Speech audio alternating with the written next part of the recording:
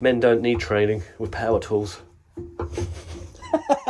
Famous last words right there. Never used a jigsaw before, I don't think.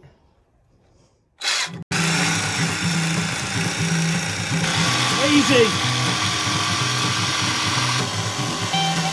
Hey, Good stuff. Sorry. I'm a natural.